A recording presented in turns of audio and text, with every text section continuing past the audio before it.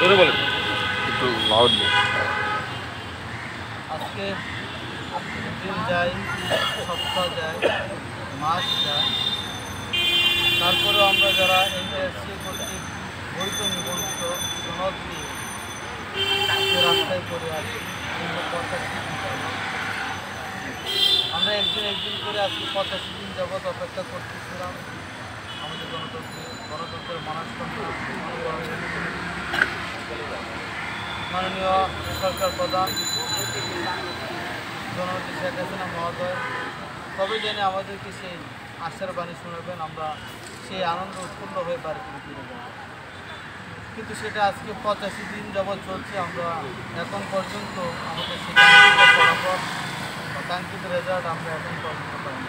আপনারা জানেন, এই অনশন মঞ্চ থেকে আমরা পবিত্র ঈদুল আজহা পর্যন্ত আগে ঈদুল আজহার তাৎপর্য দিয়ে সেটা আমরা এই দেশকে মোহাম্মার জন্য আমরা যদি এই খোলা আকাশের নিচে এই শাহাবাদী আত্মীয় বাবা মা স্ত্রী সন্তান এবং কি যারা মহিলা শিশু আছেন তাদের স্বামী সন্তান সের দিয়েই কিন্তু এই অনুষ্ঠানের অবস্থান করেছে তো আমরা ভেবেছিলাম হয়তো বা খুব আর্লি আমাদের জন্য একটু সুসংবাদ আসবেন কেন তিনি আসছেন না সেটা আমরা জানি না কারণ আমরা জানি যতটুকু জানি এনটিআরসি চেয়ারম্যান মহোদয় বারবার মাননীয় শিক্ষামন্ত্রী মহোদয়কে ভুল বুঝিয়েই কিন্তু এখন পর্যন্ত রাখছেন কারণ মাননীয় শিক্ষামন্ত্রী মহোদয়কে এভাবেই ভুল বোঝাচ্ছে মানে শিক্ষামন্ত্রী মহোদয় কাজের কথাগুলো শুধু বলছে আমরা মাননীয় শিক্ষামন্ত্রী মহোদয়কে বলছিলাম যে, মাননীয় শিক্ষামন্ত্রী মহোদয়, আপনি আপনার চিন্তা, আপনার উপরে না রেখে আপনি মাননীয় প্রধানমন্ত্রী মহোদয়ের সাথে কথা বলুন।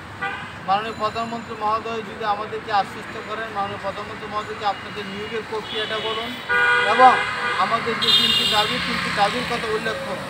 আমরা যে যে দাবিগুলোর জন্য এখানে বসে আছি, এগুলো উল্লেখ করুন।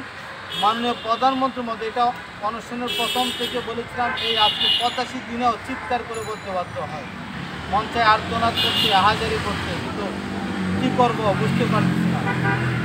মাননীয় শিক্ষামন্ত্রী মহোদয়কে আমরা অনুরোধ করেছিলাম যে আপনি প্রধানমন্ত্রী মহোদয়ের সাথে কথা বলুন, মাননীয় প্রধানমন্ত্রী মহোদয় যদি আমাদেরকে না করেন এবার এখনও বলছি, মাননীয় প্রধানমন্ত্রী মহোদয় যদি না করেন যে আপনাদের দাবিগুলো মেনে নেওয়া সম্ভব নয়, আমরা মাথা উঁচু করে জয় বাংলা, জয় বঙ্গবন্ধু স্লোগান দিয়ে কোনো অভিমান নয়, কোনো রাগ নয়, আমরা বাড়ি ফিরে চলে যাব। আর যদি মাননীয় প্রধানমন্ত্রী মহোদয় যদি বলেন আপনাকে, শিক্ষামন্ত্রী মহোদয়কে, আমি শিক্ষামন্ত্রী মহোদয়কে বলছি যে না, তাদের দাবিগুলো যুক্তিক তাদের দাবিগুলো মেনে নেওয়ার ব্যবস্থা করে। তাহলে আপনার সমস্যাটা কোথায়? আপনার নিয়োগ দিতে সমস্যাটা কোথায়? সেই জিনিসটা আসবে এখন পর্যন্ত মাননীয় মন্ত্রী মহোদয়ের কাছ থেকে আমরা এখন পর্যন্ত সুস্পষ্ট করে জবাব পাই না একটা গণতান্ত্রিক রাষ্ট্রে, এই বঙ্গবন্ধু সোনার বাংলা রাষ্ট্রে, যেখানে উন্নয়নের রূপকার, যিনি সারা বিশ্ব, বাংলাদেশ নয়, সারা বিশ্বের মানুষের কাছে যে জনপ্রিয় নেতা, আমাদের প্রিয় নেত্রী, জননেত্রী শেখ হাসিনা মহোদয়, যিনি সরকার প্রধান থাকাকালীন সময়ে আমরা পঁচাশি পঁচাশিটি দিন বাংলাদেশের একটি অত্যন্ত গুরুত্বপূর্ণ এলাকায় আমরা অবস্থান করছি। কিন্তু এখন পর্যন্ত মাননীয় মন্ত্রী মহোদয় আমাদের এই কাজটা উনি সমাধান করতে পারে না এটা আসলে একটি আশ্চর্যের বিষয়। এটা আসলে একটি, যদিও আমরা অনুষ্ঠানের দিক দিয়ে বাংলাদেশের মধ্যে সর্বোচ্চ রেকর্ড করে, করেছি, কিন্তু এই রেকর্ডটা কোনো কাঙ্ক্ষিত, কোনো উচ্চ মানে গৌরব করার মতো নয়। সেটা আমি মনে করি এই বাংলাদেশের জন্য একটি কলঙ্ক দেওয়ার মতো। আমার মনে হচ্ছে যে সেটা কি আমার জন্য না দেশের জন্য সেটা বুঝতে পারতেছি না। কিন্তু আমাকে তো এতে কি বসানোর কোনো প্রয়োজন ছিল না।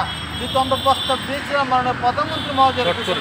শর্ট আমরা এখন পর্যন্ত এখন পর্যন্ত আমরা অপেক্ষায় আছি। আমরা যেহেতু এখন আর পারছি না আমরা এখন অত্যন্ত খুব কষ্টে খুব কষ্টে মানবতার জীবন দেবার এখানে করতেছি। আমরা মাননীয় প্রধানমন্ত্রী মহোদয়ের কাছে খুব দ্রুতই আমাদের এই দাবির পক্ষে একটি সুস্পষ্ট ঘোষণা শুনতে চাই, সেই ভরসায়, সেই বিশ্বাসে মাননীয় প্রধানমন্ত্রীর কাছে আমাদের আছে এবং মাননীয় প্রধানমন্ত্রী অবশ্যই আমাদের ব্যাপারে সুস্পষ্ট ঘোষণা দেবেন। সেই ভরসায়, সেই বিশ্বাস, সেই আস্থায় আমরা এখন পর্যন্ত শাহবাগে আছি। ইনশাল্লাহ ওনার ঘোষণা আসার আগ পর্যন্ত আমরা সাহায্য অঞ্চলে অবস্থান